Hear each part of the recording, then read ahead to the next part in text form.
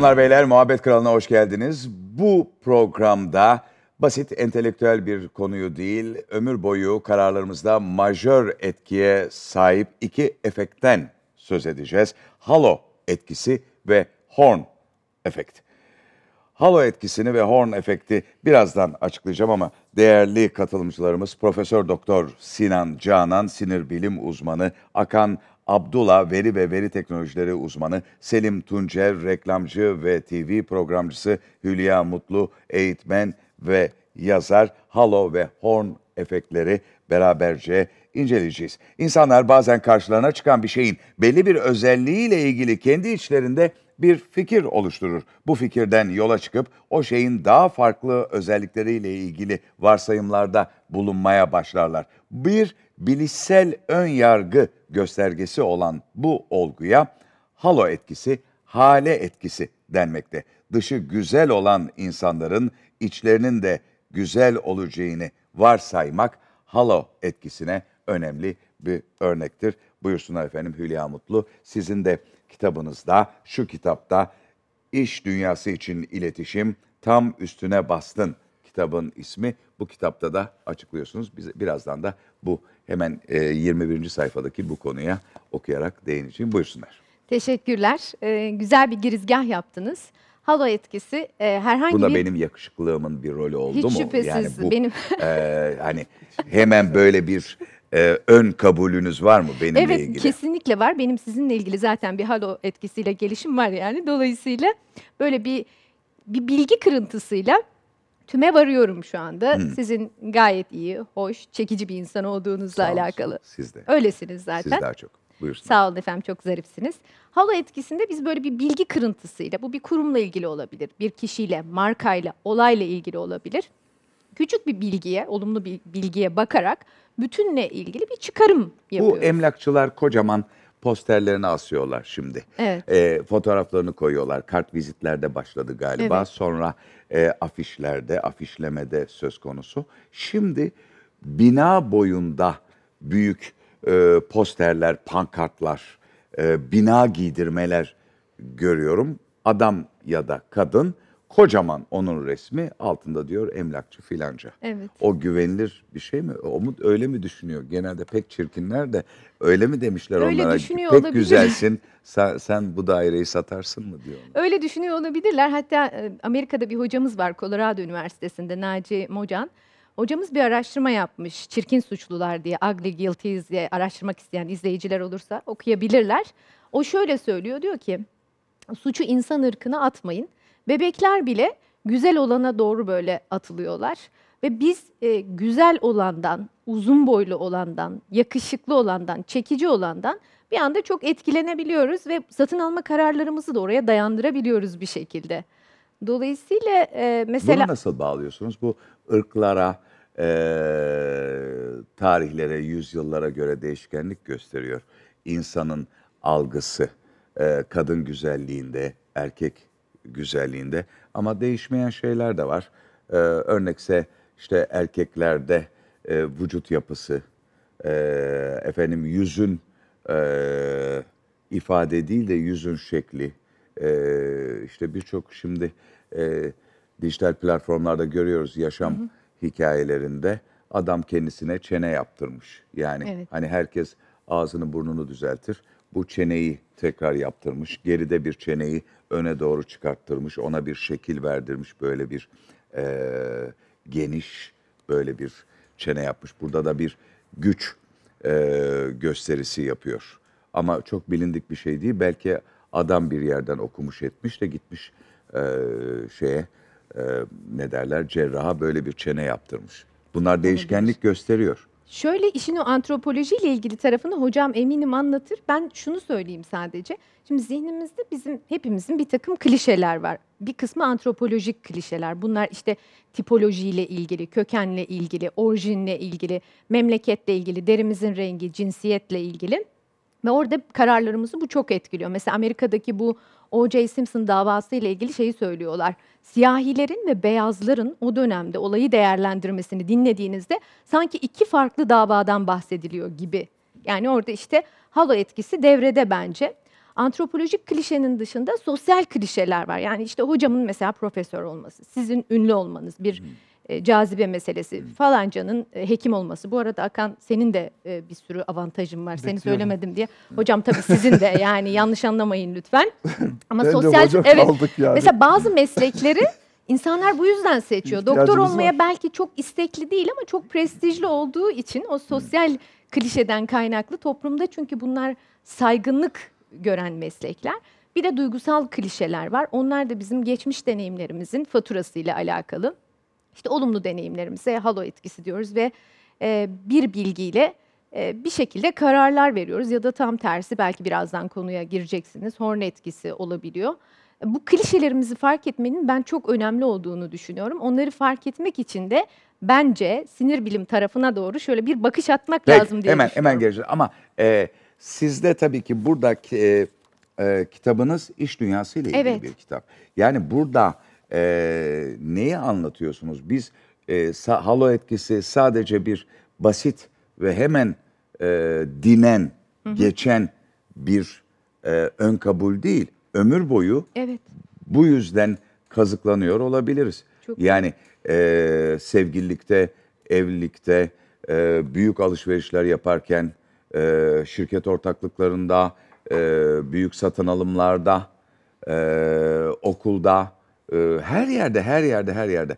Bu uzun bir etki değil mi? Yani Çok uzun. biz en azından biz bunu uzatıyoruz yani bu halo etkisini Uzatmak zorundayız bu arada. Yani Ya, zorundayız. Neden? Zorundayız. Çünkü e, tüketim şeyinden, perspektifinden anlatayım. Çünkü başka türlü karar veremeyiz. Günde 40 bine yakın mesaja maruz kalıyoruz ve mesajları işlememiz lazım. Mesajları da işlerken kısa yollara başvurmazsak ki halo efekt o kısa yollardan sadece bir tanesi. Aslında işin temelinde kusurlu zihnimiz var. Ama bu kusur dediğimiz şey aslında bizi hayatta tutan şey.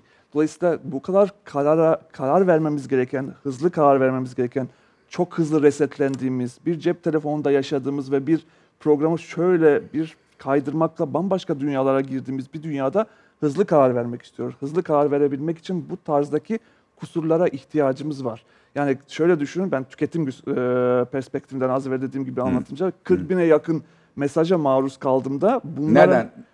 Instagram'dan. o Instagram'dan, Ee, oradan, buradan, sokakta dışarıdan afişajlar, mesajlar. E, her gün her şey şey. şöyle düşünün. Hayatınızı düşünün. Yani günde 40 bine yakın mesaj geliyor. Sevgilinizden de olabilir, arkadaşlarınızdan Kim olabilir. ama bu yani sokakta dolaşan bir adam ya biraz şey Evet, yapalım. aynen öyle. Ya da e, yani sadece e, billboardlara bakan şuna bu te- televizyona hayır, her bakan şey. her şey. Her şeyi Ama e, günde 17 saat Instagram'da kalan tipe kaç bin geliyor? O daha da çok. O daha O da çok. Zaten resetten resetten Evet, korkunç bir şekilde gidiyor. Dolayısıyla aslında işin temelinde hayatta kalma dürtüsü var. Hayatta kalmamız için hızlı karar veriyor olmamız gerekiyor. Onun için ister halo efekt deyin, isterseniz diğer kusurlardan bahsedin. Bu kusurlara ihtiyacımız var ki hızlı karar verebilelim ve hayatımıza devam edebilelim. Hatalı karar veriyoruz, evet. Hızlı karar verdiğimiz için çok hatalı kararlar veriyoruz. Az evvel birkaç tanesinden bahsettiniz ama böyle olmak zorundayız. Aksi takdirde hayatta kalamayız. Peki Instagram'da örnekse e, influencerlar üzerinden dönen e, ticarette e, burada hayatta kalmayı da ayırmak lazım. Çünkü siz e, hayatta kalmayı e, yüzyıllardan beri gelen e, sosyal antropolojik bir e, evet e, bir şey olarak e, e, olgu olarak koyuyorsunuz ama bir yandan da alışverişi hiç bırakmayan yani alışveriş için markete şuraya buraya gitmeyen alışveriş merkezine girmeyen sabahtan akşama kadar Instagram üzerinden ya da internet üzerinden alışveriş yapanlara baktığımızda aslında bunların e, yani hayatta kalma tırnak içerisinde burada artık eski bir e, antropo, sosyal antropoloji ögesi olmuyor mu? Artık bunun artık hayatta kalma gibi bir şey yok.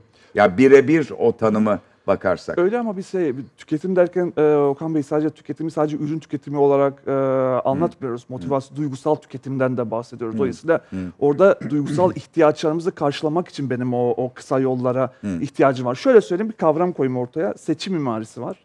Ben hatta şöyle Bir başlayayım. daha söyleyin. Seçim mimarisi diye bir şey var beynimizde. Biz sonuca en kısa yoldan gitmek istiyoruz. Hatta kendi geçmişimden başlayacağım yani anlatmaya mesela. Ben Lütfen. komünist bir ülkede doğdum. Yugoslavya'da doğdum. Bütün o iç savaşları gördüm. Bizim için e, her şeyin tek markası vardı. E, dolayısıyla bizim için markalar ve şey dünyası demokrasi demekti. Biz e, kendi aramızda hipermarketleri konuşurduk. Almanya'da hipermarketler varmış vay be gidip böyle bol bol ürünler görürmüşüz. Çünkü bizde her şeyin tek markası vardı. Devlet de her şeyi kontrol ediyordu. Dolayısıyla bizim kafamızda o zaman ürün bolluğu eşittir demokrasi. Ama şimdi artık o dönem bitti.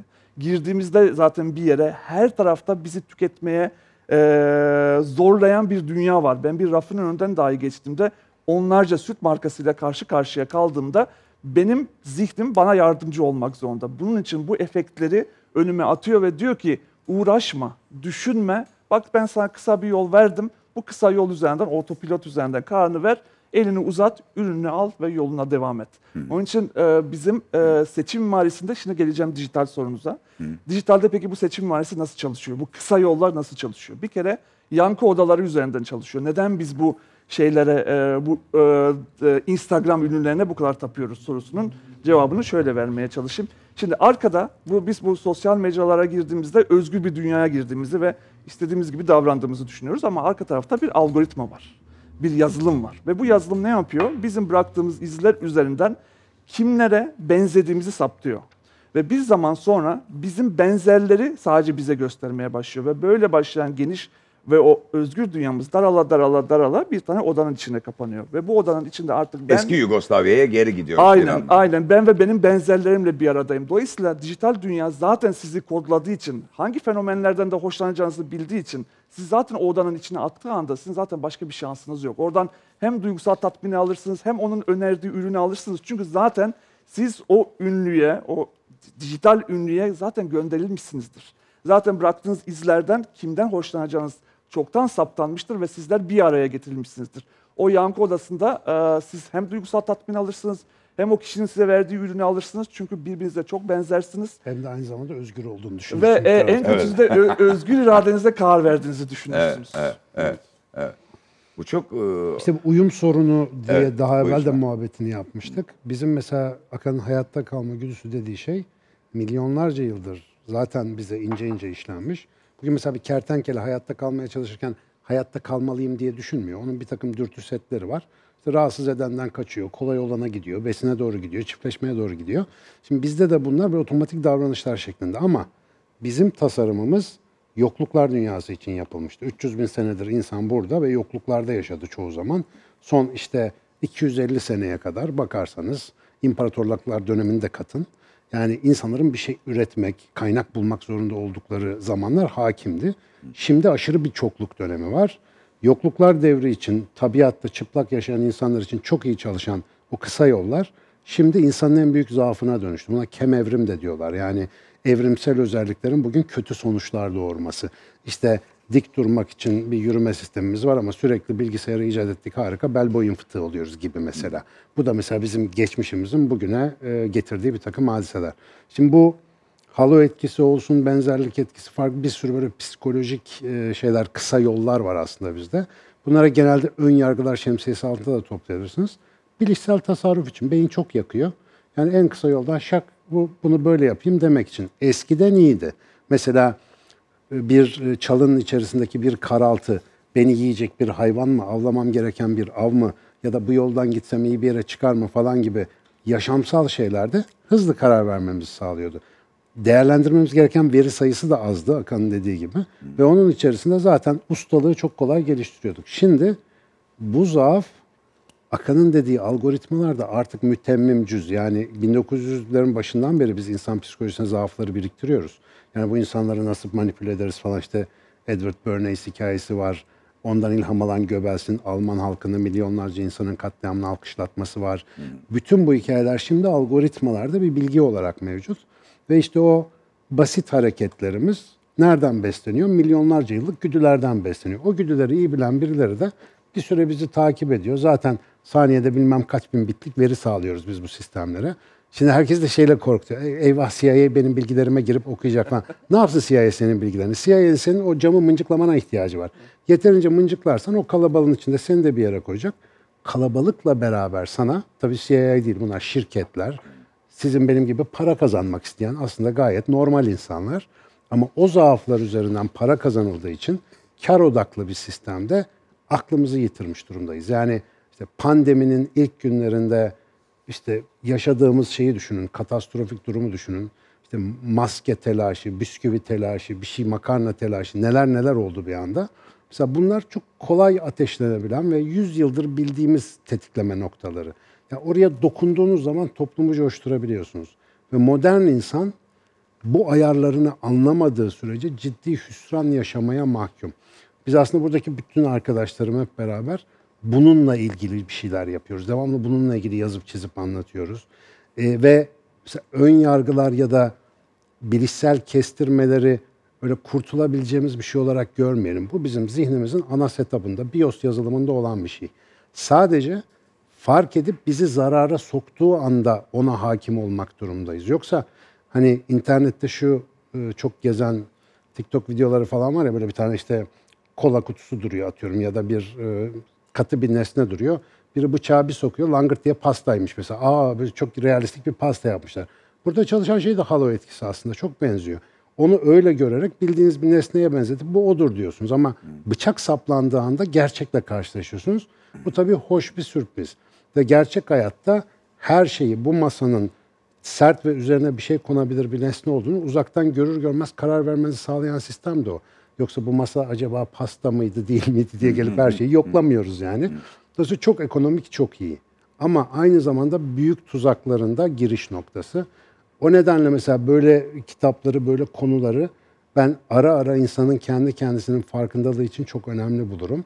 Benim mesleğimin en sevdiğim tarafı bu. Her gün bir tokat yiyorum yani. Kendimi böyle sürekli bir suçüstü yakalıyorum. Çünkü bunları e, işte okudukça kendiniz de fark ediyorsunuz.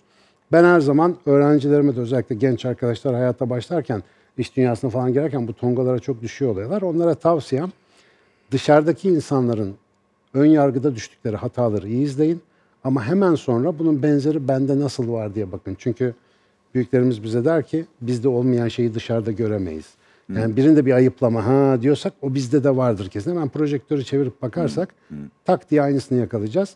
Bu bir hastalık gibi algılanmamalı. Bu bizim setup'ımızın bir parçası Onun yani. sayesinde hayatta kalıyoruz. Aynen yani evet beynimiz kusurlu ama bu kusurlar sayesinde de hayatta kalıyoruz. Yani özetle böyle bir enteresan sistemin içinde varız. Aslında bu da bir, bir, bir yandan da şu değil mi? Yani e, örneğin gözün ya da beynin e, çok net olmayan bir fotoğrafı tamamlaması gibi. Aynen. Yani uzaktan baktığımızda biraz önce verdiğiniz örnekte bu masanın pasta değil de sert bir satıh olduğunu e, düşünmemiz, öngörmemiz gibi, fotoğrafı tamamlamamız gibi ya da e, bir karaltıyı bir şeye benzetmek e, gibi. Dış dünya zaten zihinsel bir yapılandırma. Ama Yani ırkçılıkla hepsi. ilgili de bizzat bir sürü şey konuşulabilir Tabii bu ki. konuda. Aynen Özellikle aynen. Bu ırkçılık- arada şey zaten konusunda. bugün şey tarafında ırkçılığın da bir e, bias ya da bir beyin kusuru olduğu zaten konuşuluyor. Aslında bu ırkçılık e, şeyleriyle doğuyoruz. Sonra onu kontrol altına bazılarımız alabiliyor, bazılarımız alamıyor. Ama o da bir kısa yol. Maalesef beynimiz enerji harcamamak için kısa yollara bayılıyor ve bir şeyi gruplayıp onu kötülemek o kadar güzel ve bir kısa yol ki, o kadar kolay ki. Yani arkasındaki sebepleri aramamak. Kusurlu, kusurlu denmesini anlamıyorum. Örneğin e, kimi e, canlıların hatta beraber yaşadığımız kedilerin, köpeklerin ya da yakın çevremizde, şehirde de e, bulunan e, canlıların işte e, ki- kimi canlının çok keskin gözlerinin olması, kiminin e, koku algısının bizden binlerce kat daha yüksek olması. Bunları öğrendiğimiz zaman e, canlı belgesellerinde şaşırıyoruz. Ha, nasıl yani ne, ne kokusu alıyor olabilir ki? Hangi frekansı bizden daha iyi duyuyor olabilir ki? Sanki biz mükemmel yaratıklarmışız gibi. Hani hep öyle öğretildiği için ama o canlı bizden çok daha iyi kokluyor, çok daha iyi e, görüyor, e, çok daha iyi hissedebiliyor e, Biz de tehlikeleri aslında falan. bunları yeterince yapıyoruz. Bizim sorunumuz yarattığımız dünya ile uyumsuz hale gelmemiz. Yani tabiattaki diğer bütün canlılarla tabii ortamlarda yaşasaydık atalarımızda olduğu gibi gayet yeterliydi. Mesela bir avcı olarak çok yetenekliyiz. Yani mamutların soyunu tüketmek az bir CV değil yani. Öyle miyizdir tabii, efendim? Tabii mamut, mamutları komple indirmiş bizimkiler. Yani Mamutlarla ilgili o tarihi meydan savaşımızı anlatır Tabii, mısınız? meydan Biz savaşı yok. Şimdi- yücelelim. Enteresan e, olarak şey şu. E, Hocam iyi hissedelim. Apartman büyüklüğünde tüylü filler var, açlık çeken insanlar var. Birileri diyor ki ya bunu devirsek bundan ne et çıkar? Mutlaka insan böyle düşünür yani bir yere gideriz de böyle bakarız Hiç hani değişmemiş. ne yeriz bunu falan diye. Fakat diğer canlıların yapamadığı bir şey yapıyoruz. Mesela mamutlar daha önce hiç avlanmadığı zaman insanın diyetinde mamut avlayıp yemek yok. Ama birisi bu çizginin dışına çıkarak düşünüyor, plan, program yapıyor. Ben diyor bunu avlayacağım. Muhtemelen bu yolda çok şehit de vermişizdir insan türü olarak ama birileri yok çukur kazdı, bir kumpasa düşürdü, mamutu indirdi diyelim. Ondan sonra bu iş zaten teknik olarak gelişiyor ve bizim hayatımızın bir parçası oluyor. Fakat bu sefer ne başlıyor? Şimdi insan tabiatta yapılamayanı yapacak şekilde aşırı zeki, organize olmuş bir canlı tamam ama siz sürekli mamut eti yemeye başladığınızda salgın hastalıklar baş gösteriyor ve ölmeye başlıyorsunuz. Şimdi en basitinden bu kadar yoğun protein kaynağını kaldıracak bir bedeniniz yok. Ya da yerleşik hayata geçtiğinizde insan hayatının en büyük kitlesel ölümleri o zaman başlıyor. İlk şehirler kurulduğunda salgın hastalık ve atıklardan dolayı nasıl baş edeceğimizi bilmiyoruz mesela. Çok ciddi problem. O e, işte Batı klasikleri arasında Orta Çağ bilmem neyi anlatan romanlarda o vebalar bilmem neler niye çıkıyor? Bunlar o toplu yaşamı kaldıramamanın sonuçları. Şimdi o günleri böyle ahvah edip izliyoruz ama bugün durumumuz çok daha fena. Özetle tabiattaki en güçlü yanımız şimdi ucu bize dönmüş kılıç gibi. Kendi yaptığımız medeniyetin her şeyi bizi zehirliyor. Bugün 40'lı yaşlarına gelenler eş dost arkadaşla toplanınca ne konuşuyorlar? Doktorun kim? Ne diyet yapıyorsun? Tansiyon kaç? Niye? Makine arıza veriyor daha 40'a gelmeden.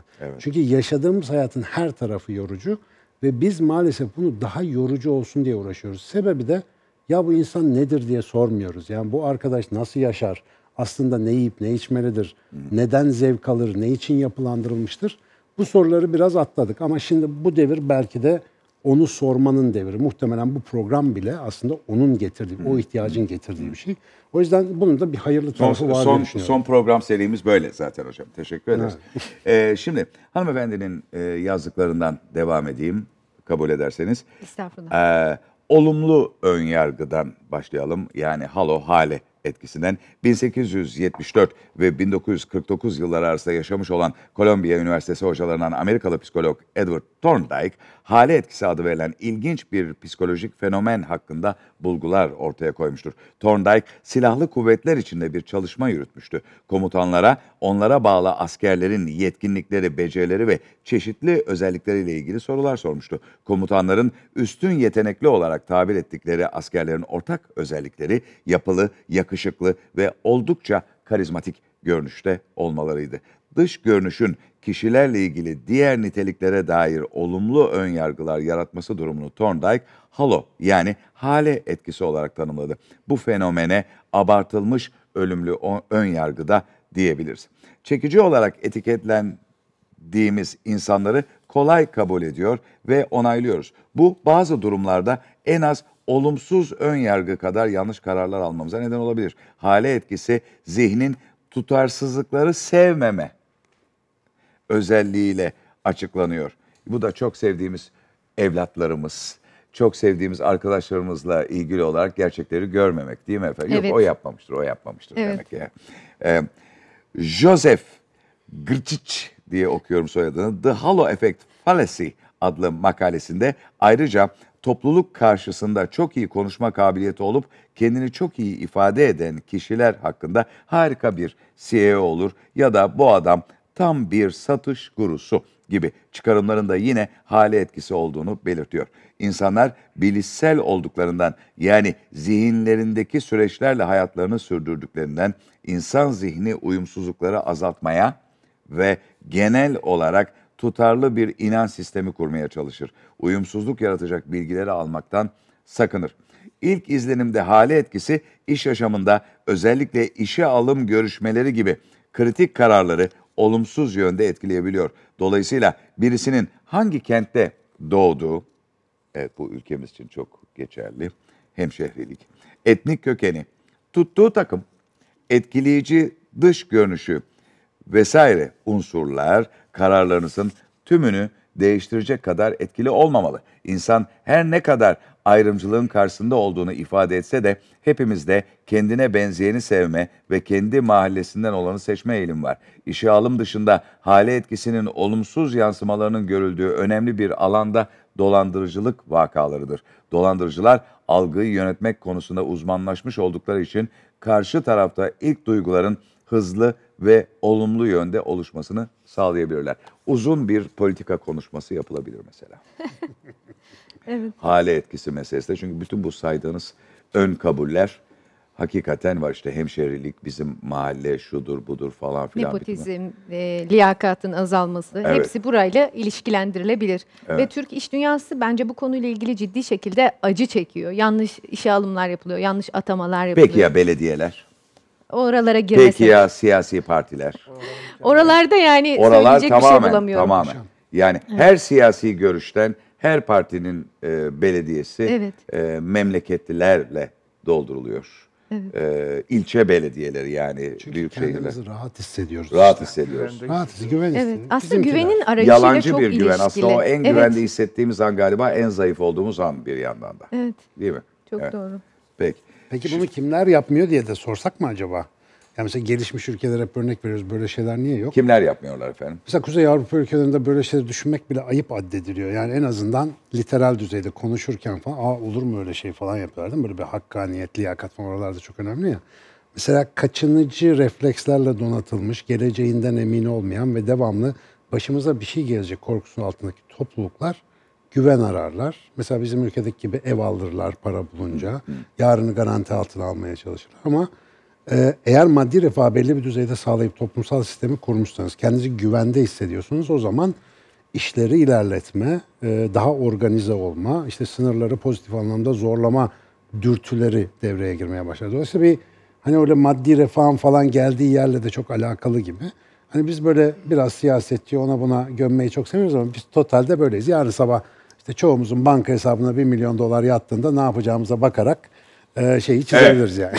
Efendim Sayın Selim Tuncer siz e, Ekotürk kanalında bu soyut şeyler ekonomisi programımız devam ediyor değil mi? Evet. Efendim pekala. E, şimdi hem reklamda hem pazarlamada da konferanslarınız devam ediyor.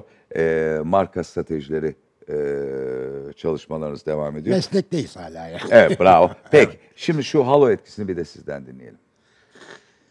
Aslında hocalarım anlattılar halo, halo etkisini. Bu e, yine hocamın çok alanına girmeyeyim ama konuşacaklarımla ilgili bir girizgah olsun diye bunları söyle- söyleyeyim.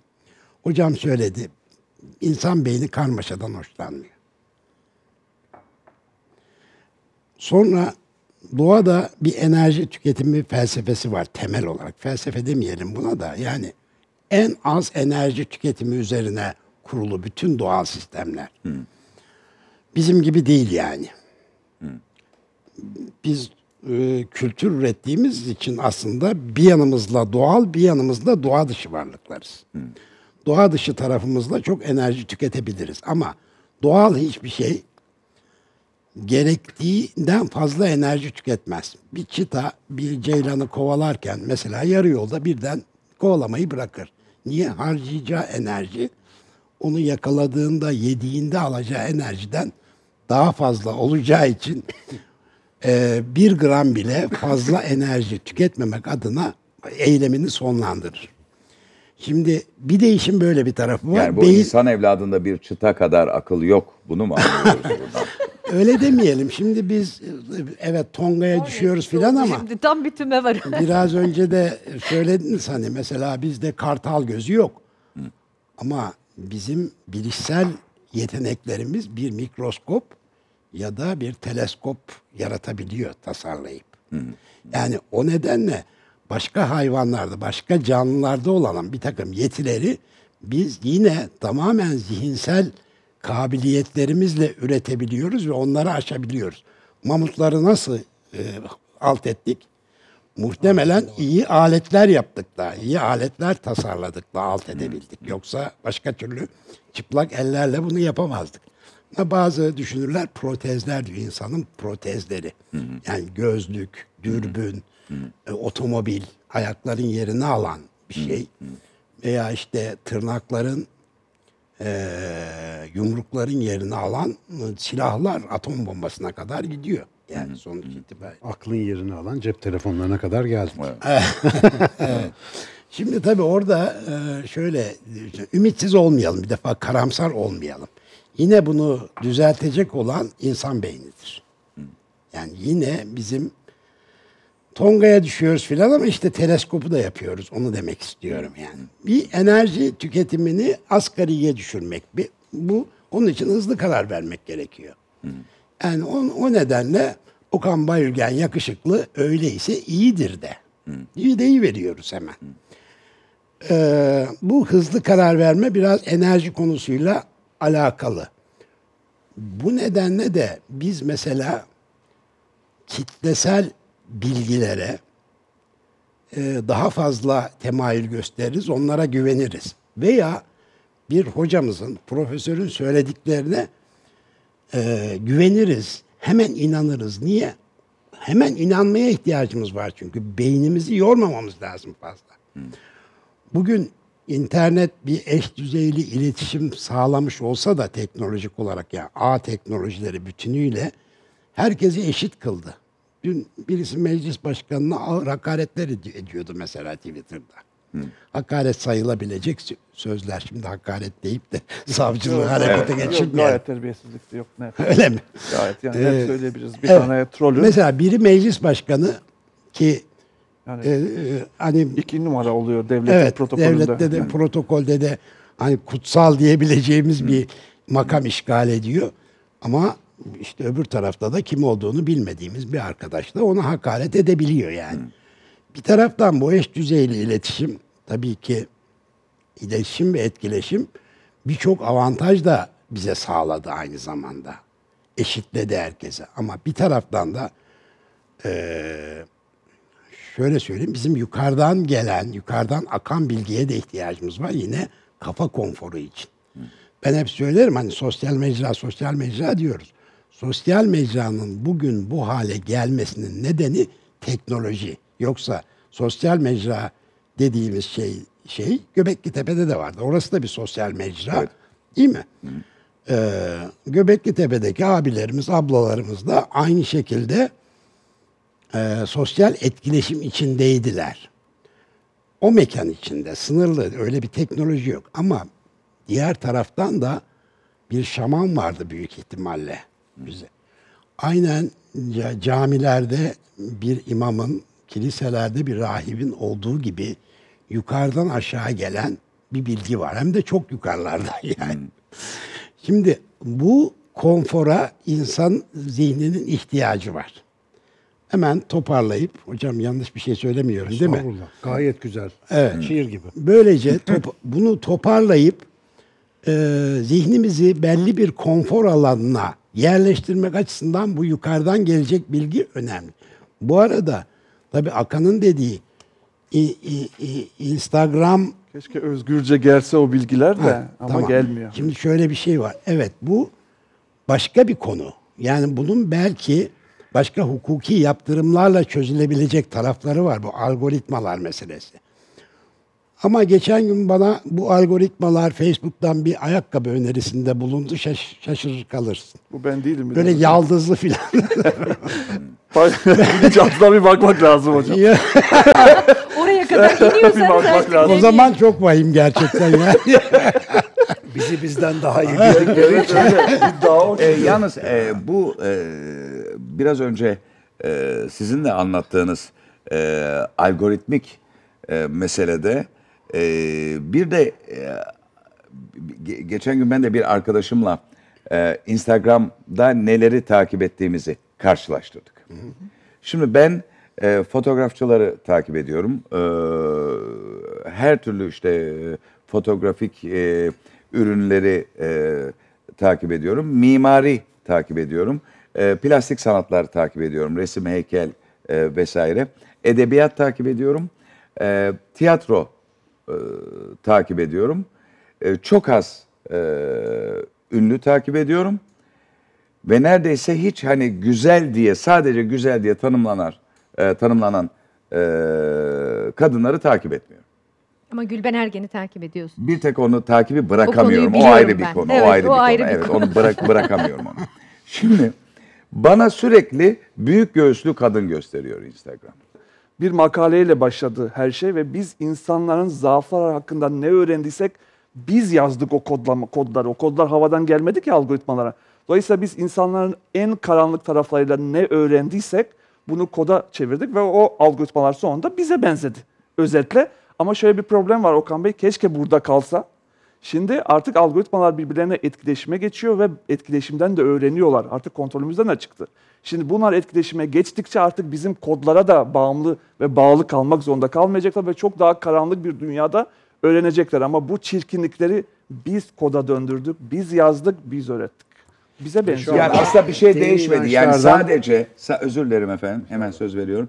Yani bugünün e, politik e, doğruculuğu içerisinde biz e, kimseye cinsel ayrımcılık yapamıyoruz. Bütün e, yaklaşımları, e, genetik yaklaşım ya da tercih her nasıl söylenmesi gerekiyorsa LGBTİQ ee, Ondan sonra üzerine I, üzerine A, üzerine yani uzun bir e, şey yazıyoruz. Seri numarası gibi e, bir kod yazıyoruz. Aman insanlara saygısızlık yapmayalım falan e, diyerekten. Ama en azından Instagram'da e, yaşadığımız vahşi e, izleme, e, takip etme ve takip edilme, likelanma dünyasının daha 1900'lere geldiğini düşünmüyorum ben. Orası tamamen içgüdüsel gidiyor. Alışveriş de öyle, e, izlenmeler de öyle, hepsi öyle. İnsanların WhatsApp gruplarında birbirlerine gönderdikleri videolar, ya ben ben sadece tiyatrocu WhatsApp gruplarındayım ve okul aile birliği WhatsApp gruplarındayım. Ben bu kadar IQ'su düşük, bu kadar pornografik, bu kadar e, Felaket e, ya, e, ya kork ya felaket tellallığı değil. Sadece o da seks hızlı var. yayılır çünkü. Sadece seks. Sadece seks. Yani bu yani ama konuşma diline baktığınızda müthiş Şöyle bir şey politik sorsam, var. bunlar yasaklansa ne yapardık? Yani bütün dünyada işte çıplaklık, erotizm ve pornografi sınırlandırıldı. Tam tersi yasaklanması hani e, kimin e, e, senin şeyin sözünü söyleyin. Yani senin aynı görüşte değilim ama senin o e, Voltaire'in sözü evet. Evet Voltaire'in sözü yani o görüşünü ifade edebilmek için canımı verebilirim meselesi gibi aynı şeyi düşünüyorum. Ama burada beni deli eden bu politik doğrucu değil. Bu politik doğrucu değil yani biz saygılıyız, biz şöyleyiz, biz böyleyiz, biz şunu yapıyoruz falan ama hiç böyle para karşılığı algoritma yazarken böyle davranmıyorlar. İşte onu Orada tamamen içgüdüsel olarak O- mamut devrimine de, mamut devrindeyiz orada. engelleyebileceğimiz bir davranış değil, Değil. o. Şunun için sordum yasaklasa ne yaparız diye. Biz herhangi bir yasaklamaya karşı e, hayat alanı tehdit edilmiş standart bir primat gibi tepki verip direkt bir dakika kaldır önümdeki engel diyoruz. Çünkü yasak bizi strese sokuyor. İnsan tabiatta devamlı özgürleşmeyi de bir güdü halinde muhtemelen içselleştirdi ki biz sınırsız özgürlük isteyen bir canlıyız. Şimdi dövüle dövüle özgürlüğün sınırsız bir şey olamayacağını fark ediyoruz. Yani özgürlük dediğimiz şey bize dönmüş bir silaha dönüşüyor. Şimdi rahmetli Freud ve Darwin seneler evvel söylemişler. Yani üreme hayatın temeli. illaki en derin beyin mekanizmaları bununla alakalı olacak ve ortada 10 tane opsiyon, seçenek, düşünsel iş varken, bilişsel iş varken cinsel bir oran varsa hepsi iptal olacak. Yani 70'lerdeki seks satarı biz seksle satar yaptık. Seksle Seks satar her zaman, yaptığımız için seks de satar, seksle satar. Ama ama şöyle seksi yasaklıyoruz. Yani seks satmıyoruz. Seksle Elbette. satıyoruz. Ya bunun modası Müziği hiç de seksle geçmeyecek. satıyoruz. Tabii. Ee, her şeyi seksle satıyoruz. Ürünleri seksle satıyoruz. Hepsinin hepsinin altında böyle bir e, dolandırıcılık var. Burada çirkin olan bu e, bugün gelinen medeni ve entelektüel seviyede madem ki herkes çok farkında haklarının ve başkalarının haklarının, çocukların, büyüklerin, yaşların, gençlerin, farklı düşünenlerin herkes bunların farkında. Fakat bunun altında gizlenmiş olan e, pornografi e, geçmişten daha da çirkin bir Hiçbir pornografi. farkında değiliz. Hiç öyle bir dünya yok. Hiç o kadar ermiş ya da bilge değiliz. Yani insan özellikle kalabalıklar halinde toplandığı zaman Carl Gustav Jung'un sözüdür. Hayvan toplulukları kalabalıklaştıkça akıllanır, insan toplulukları kalabalıklaştıkça aptallaşır diye. En düşük prensip yoluna gittikleri Evet. için her zaman en yıkıcı hareketi, en böyle gürültülü yankı odasını, en büyük linçleri, en büyük savaşları o yüzden yasaklama yapıyoruz. demeyelim de. bu Jung'un yasak- sözü mü? Çok güzel bir söz. Hakikaten ben de öyle düşünüyorum. Yani Aynen hakikaten öyleyiz. 6 yaşına kadar 6 yaşındaki insanın zekasına iniyor. deniyor şey. Aynen öyle. Evet. Topluluk. Orta kim söylüyordu? Ee, Bir geçenlerde duydum birinden ama kaynağını hatırlamıyorum. Ortalamanın kötü bir huyu var diyordu. Devamlı aşağı düşer. Yani bir şeyleri ortalamaya bağladığınızda bu devir her şeyi vasata Hiç de bağlıyor. Böyle bir şey yok. Ama Her şey- şeyi vasata bağlıyor sürekli. Aa, şeyde 140 Jurno'da Evet, eee, orada, evet siz, siz de vardınız orada hatırladım. evet. Ama şimdi Orada şöyle de şunu da fa- e, averajın çöküşü tabii. farkında olmamız gerekiyor. Evet genelden bahsettiğimizde e, hiçbir şeyin farkında değiliz diyoruz ama bu kodlamayı yazanlar, bu kodları yazanlar mağara insanının o en karanlık dürtülerini alıp algoritmaya yazan birileri var. Ve gayet farkındalar. 1928 yılındaki bahsettiğiniz makalenin ismi rıza mühendisliğiydi. Tabii. Yani rızayı elde etmenin mühendisliğini. Dolayısıyla birileri farkında ama e, Okan Bey'in dediği gibi o, o mağara insanının o dürtülerinden para kazanmak birazcık daha E, kolay. Hakan'cığım ama şey reklamda da aynısını yapmıyor Öyle, muyuz? Yani yaptık. 50 sevgili yıldır Kıvanç yaptık. böyle bir şey içince senin Yaptık. de içesin gelmiyor mu? Yani Yaptık. hani Yapıyoruz bende de ama onda duracağını görmek gibi. reklamcı olarak Evet. Burada söz hakkı savunmaya var. geçiyorum. Buyurun. Peki. Bunu buyursunlar. yap, bunu yapıyoruz. Evet, e, haklısınız. Ama her şeyin olduğu gibi bunun da bir dozu var. Tabii. Etik böyle bir yerden oluşuyor zaten. Biraz önce hani yasaklayalım mı şeyine karşı da bir itiraz e, getirmiştim. Hukukla yasağı aynı kategoride değerlendirmememiz lazım. Şu anda bu dünyanın ne etik kodları ne hukuki altyapısı tam olarak de, e, olgunlaşmış durumda. O bakımdan zaman içinde hukuk hukuku geliştikçe hiçbir şey elbette ki tertemiz olmayacak ama eee, bir takım düzelmeler yaşayabiliriz diye düşünüyorum ben şahsen. Reklamcılık Hakan'ın söz ettiği algoritmalarla size bir şeyi satma eee, konusundan çok uzak bir şey. Evet biz de benzer şeyleri ku- ku- kullanıyoruz. Şimdi dedik ya insan işte halo efekt bu. Eee, o zaman marka, marka adı güzel olmalı. Değil mi? Fonetik olarak. Ma- logo güzel olmalı. Çünkü bunlar aynı zamanda insandaki gibi e, ilk intibalar bu ürünün iyi olduğuna dair de emareler sunuyor demektir.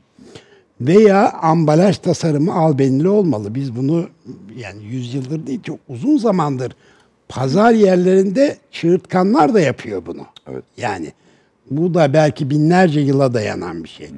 Şöyle düşünelim ben genelde benim bir sağlama yöntemimdir bu. Şimdi insanoğlunun e, bu tür e, tuzaklara düşen yanıyla direnç gösterdiği, medeniyetler oluşturduğu, geliştirdiği bir başka yanı var. Sonuç itibariyle e, belki bunların çarpışmasından yeni bir dünya. Şu anda devrimsel bir an yaşıyoruz. Bu ağ teknolojileri yazın icadı gibi bir şey. O kadar devrimsel bir olgu bu. O bakımdan zamanla yerine oturacaktır diye düşünüyorum bunun etiği ve ahlakı. Şimdi bunun ıstırabını yaşıyoruz. Akan çok iyi bildiği için bu konuları bizden daha fazla ıstırap yaşıyor. Bize o kadar batmıyor. Peki son hemen eee, kısa bir kısa bir araya gideceğiz. Sonra da şu horn etkisiyle devam edeceğiz kısa aradan sonra.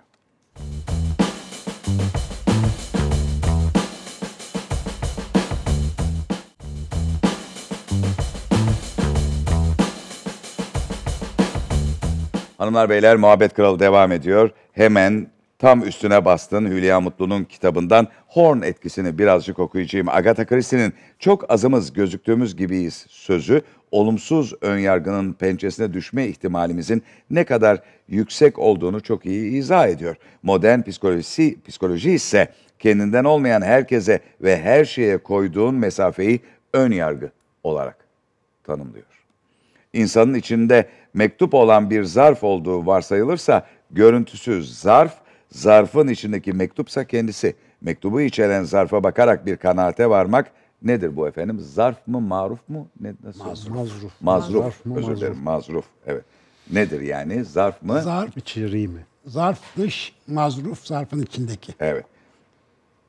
Mektubu içeren zarfa bakarak bir kanaate varmak, insanın iç dünyasını görmezden gelmek anlamına gelir. İnsanın görüntüsü, dışı ve özüyle içi bir bütündür. Surete bakıp öze varmak yanılgıyı getirir. İnsanları dış görünüşlere, münferit olaylara, cinsiyetlerine ya da onlara has bazı özelliklere göre kategorize edip etiketlemenin iletişime olumlu en ufak bir katkısı olmadığı gibi oldukça yıkıcı etkileri bulunur. Ön yargı öncelikle içe kapanmanın önünü açar. Zira senden olmayan her şeyle arana koyduğun mesafe sosyal izolasyona sebebiyet verir. Sosyal izolasyonsa ilişkilere ve insanlara yabancılaşmaya neden olur diye devam ediyor. Bu İskandinav ülkeleriyle ilgili şunları duyuyorum. Bu oradaki şirketlerle ilgili falan filan. E, dillerinde çok fazla demokrasi, e, ırklara saygı, e, yeniliklere açık olmak filan bütün bunlar dillerinden düşmese de örneğin şirketlerinde çalıştırdıkları insanları, e, onlara göre e, yabancıları e, işe almak konusunda değil ama daha sonra yükseltmek ve pozisyonlanmak konusunda çok ırkçı davrandıklarını söylüyorlar. Batı dünyasında hala çok yaygın. Evet. Bizde de ne güzel hep bunu konuşuyoruz. Batı dünyasında çok yaygın ama çok şükür bizde yok Birkaç diye. silikon vadisi örneği var. Hintli Var, gelmiş de CEO olmuş filan gibi. Ya orada işte Numune. xenofobi diye geçiyor bize böyle yabancıdan korkma. Bütün primatlarda olan bir şey. Yani bütün bizim de dahil olduğumuz hatta memelilerin çoğunda var olan bir şey. Kendi klanından, kendi görüntüsünden, kendi yaşam alanından olmayan birini gördüğünde otomatik tepki vermek. Şimdi bu alanı korumakla ilgili çok güzel bir hayvani güdü yani onların hepsinin işine yarıyor. Belki eski zamanda da bizim işimize yarıyordu kaynak korumak için falan ama şimdi dip dibe bir işte bağ toplumundan ağ toplumuna geçip de 5 milyar insanla dijital iletişim kurduğumuz bir günde elbette ki bu bizde çok ciddi sıkıntılara sebep oluyor. Artı artık mobilizasyonun, hareketin, seyahatin işte ırk yok insanda ama hani farklı görünümdeki insanların birleşmesi sonucu oluşan ara melezleşmelerin son derece arttığı bir dünyada artık kim oradan, kim bu etnisiteden, kim bu coğrafyadan. Mesela şimdi biraz önce Akan Yugoslavya'da doğdum dedi. Şimdi biraz Ha. o örnekleri verecektim. Evet. Bak Yugoslavya'da doğdum demesi bile mesela bir tık daha ben zaten çok severim Hakan ama bir tık daha yakınlaştım. Niye? Ben Yugoslavya'nın ne olduğunu biliyorum. Benim çocuklar bilmiyor mesela. Mesela oradan böyle bir tanışıklık, bir şey havası yakaladım. Şimdi işin bir, bir tarafı var. Bir de mesela bir diyelim ki böyle yüksek milliyetçi değerlerle donatılmış falan bir tip olsam yani bayağı ırkçı olsam mesela bu bende negatif bir done oluştururdu. Bir iş dağıtacağım zaman mesela burada bizden biri var bir de öbür taraftan biri var. Ha, otomatikman bunu tercih etmeyi doğru. Şimdi bu küçük topluluklarda dayanışmayı oluşturan pozitif bir unsur olabilir. Yani küçük kabileler, klanlar halinde yaşarken iyidir. Kaynaklarınızı korursunuz, hayatta kalırsınız vesaire vesaire. Ama işte biraz önce geçtiği Hakan söyledi. Hani insan büyüdükçe bunun dışına bir gelişim göstermesi gerekiyor. Biz yaşamımıza bebekken gerçekten bir hayvan yavrusu gibi başlıyoruz. Hiçbir özelliğimiz yok. Kültürle aldığımız doneler bizi yavaş yavaş işte şanslıysak insana dönüştürecek bilgiler içeriyor. Bizi bir kere farklı kılan hocam da söylediği gibi kültürel bir canlıyız biz. Yani doğduğumuz andaki biyolojik güdülerimizle değil etrafımızdan öğrendiğimizle yaşıyoruz ve maalesef bunlar üzerine çok çalışmazsak, düşünmezsek, konuşmazsak kültür olduğu yerde durmuyor. Üzerine bir şey ilave etmezsek bir sonraki nesil bizden daha az insani kültür, daha çok hayvani güdü alıyor. Ve bir süre sonra da eğer bu hayvani güdülerimizi bugünkü gibi başarıyla ve bize hiç sormadan manipüle eden bir sistem içindeysek bununla çok çılgın yönlere güdülenebiliyoruz. Bugün işte o işte Social Dilemma belgeseli şey oldu. Bayağı bir ara fenomen oldu. Herkes onu izliyordu. 6 ay kadar bir süre içerisinde cinsel tercihinizden politik görüşünüze, işte dünya bakışınızdan marka tercihinize her şeyi etkileyebiliyor bu sistemler ve biz bunu ölçebiliyoruz artık. Ölçülebiliyor psikolojik olarak yani. Ve bu algoritmaları yazan insanların da ağrı olduğu bir şey değil. Onlar da bunun içerisindeler. O kadar zaaflar içerisindeyiz. O kadar günlük hayatımızın bir parçası. Dolayısıyla bu işte yabancıdan hoşlanmama, işte birilerine ayrımcılık yapma insanın mütemmim cüzü içinde var. Önemli olan bunu tespit edip bunun dışına nasıl çıkabiliriz? Yani buradan kendimizi nasıl daha bilgece bir noktaya taşırız onu konuşmak. İnsanın kusurlarını saymaya kalksak saatlerce konuşalım. Aylarla konuşuruz. Aylarca konuşuruz. Yani bitmez. Ama bunların her biri aynı zamanda bir gelişim alanıdır. Yani biz bunları fark ettiğimiz zaman nasıl bir öğretiyle, mesela yıllarca kadim öğretiler bunu yaptılar. Şimdi kadimin de hükümsüz, hükümsüz olduğu bir zamandayız. Yani artık herkes kendi keşfetmek istiyor hayatı. Ve böyle bir istek olması doğal ama Twitter'dan öğrendiğin zaman hayatı, Instagram'dan takip ettiğin zaman olmuyor. Yani o kadim dertleri bilmediğin gibi zaaflarından bir haber olarak hayatına doğru bir çözüm getiremiyorsun. Bu olumsuz düşüncelerimiz, hayvani taraflarımız hep başkasında varmış gibi konuşmak zararlı. Bir pratik örnek vereyim size. Ee, Amerika Birleşik Devletleri'nde işte e, bir çalışma yapılmıştı. Böyle farklı ırklardan insanların resmi gösterilip deri dirençleri yani stres düzeyleri ölçülüyor deneklerin. Ne zaman böyle siyahi, Hintli falan bir yüz gelse zıp diye stresi tavan yapıyor. Şimdi bizim burada da bir gazeteye haber olmuştu birkaç gazeteye. İşte böyle ırkçılık hala ölmedi falan gibi. Aa ne fena Amerikalılar hep böyle zaten bunları zencileri sevmez falan gibi muhabbetini döndürdük. Sonra biz bir grup arkadaşımızla üniversiteyken bir çalışma yaptık. Sadece kelimeleri gösterdik. O da İstanbul Üniversitesi'nden Tamer Demiralp Hoca'nın yaptığı bir çalışmadan esinlenmiştik. O da çünkü yani rahatsız edici bir sonuç bulmuştu oradan. İşte Türk, Kürt, demokrasi, özgürlük falan gibi kelimeler gösterdik. Sonuçları ilerletemedik. Utandık çünkü. Korkunç durumdayız. Yani insanlar mesela ya resmen Türk ya da Kürt sözüne reaksiyon verebiliyorlar. Müslüman ya da ateist sözüne böyle zıplıyorlar yani anlatabiliyor muyum? Bu sadece bir kelime değil onlar için. Duygusal bir bileşeni var. Ve biz ancak duyguların altını kazıdığımızda ne kadar derine gömülü olduklarını anlayabiliyoruz. Ve bugün bunların böyle fizyolojik olarak ölçebildiğimiz bir günde, bu kadar farkında olduğumuz bir günde bu hep başkalarında var, bizde yok diyebileceğimizde bir zaman. Bu çok enteresan bir kafa konforu. Öyle bir şey yok. Hepimizde var. Şunu şunu bilmek lazım. Bu az evvel o karanlık tarafı konuştuk ya mağara insanı. Mağara insanı özelliklerini bütün insanlık paylaşıyor. Dolayısıyla bir e, millet diğerinden daha ırkçı olmuyor. Bütün e, milletlerde ırkçılık var. Bunu çözmek e, sosyal normların ve kültürün işi. Hatta en son örnek bence Rusya ve Ukrayna savaşı. Bütün gazeteciler şöyle başladılar cümlelerine. Ama onlar mavi gözlü insanlar nasıl ölebiliyorlar? Ya da şöyle dediler. "Aa, ilk defa Avrupa'da 2. Dünya Savaşı'ndan sonra katliam yapılıyor dediler. Srebrenica'da 10 bin kişi öldürülmüş. Ya, ya, yani ya, onlar ya. çünkü yoktular. Yani dolayısıyla e, şöyle e, o karanlık taraf aslında bizi hayatta tutan taraf ya. Bütün bu zaafları bizi hayatta tutmak için yapıyor. Yani tehlikeden bizi korumak için. Ama bunu yaparken maalesef çok korkunç şeyler de yaptırıyor bize. E, hepimiz bir nebze ayrımcı, ırkçı e, doğarız. Bunu çözmek bize düşer. Yani kendimizi eğitmeye, anlamaya, daha derine gitmeye, kendindeki o kişiyle iletişime geçmeye, duygusal zekanı geliştirmek bizim sorumluluğumuz. Ama kısa yol anlamında çok kolay olduğu için ayrımcı olmak, gruplamak, sıfatlamak o kadar kolay oluyor ki bununla doğacağız ama sonra doğrusunu öğreneceğiz. Peki bir şey sormak istiyorum. Bu e, de- düşünüyorum da bu konuda. Yani bir e, e, bu halo etkisi ya da horn etkisi tabii ki e, basit algılama bu. Yani bunun Kısa. e, derisi e, koyu, bununkisi sarı, bununkisi açık, bunun boyu kısa, bunun uzun, bunun gözü mavi falan gibi. Yani bu çok basit, e, primitif bir algı. Bir yandan e, insan ırkları e, beraber yaşadıkça e, geleneksel bilgiler depolamışlar. Kültürler e, oluşuyor. Örnekse Osmanlı İmparatorluğu büyük bir imparatorluk, e, kıtalar imparatorluğu ve bu imparatorluk içerisinde filan e, ırktaşların şu işlerde iyi olduğu, filanların bu işlerde iyi olduğu, filanlar askerlikte, filanlar zanaatta, filanlar mimaride, filanlar ticarette gibi bölünmeler yaşanmış.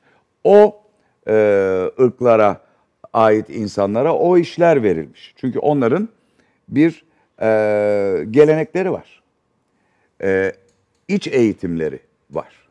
E, zanaatta iyiler, şunda iyiler ve o özellikler toplanmış. O özellikler bir ön kabul yaratmış. Sonuçta da bu ön kabul hep doğru çıkmış.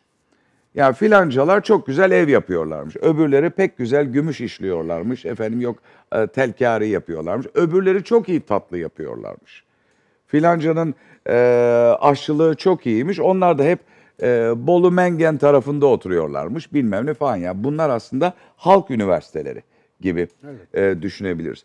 Ama şimdi baktığımız zaman sanki bütün bu geleneksel, bütün bu pratikte üst üste konulmuş bu büyük kütüphane yok sayılarak hala Fenerbahçelisin, Galatasaraylısın, uzun boylusun, kısa boylusuna geldik tekrar. Nereye gitti bütün bu kütüphane? Şimdi Bu, bu, bu imparatorluk kültürü tabii. E, evet. Yani bu Evet. bir imparatorluk. Şimdi ulus devlet paradigması farklı.